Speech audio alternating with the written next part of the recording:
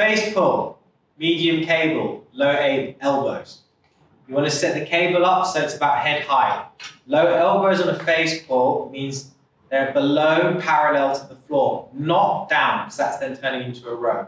So you're approximately a 30 degree elbow um, gap in your armpit.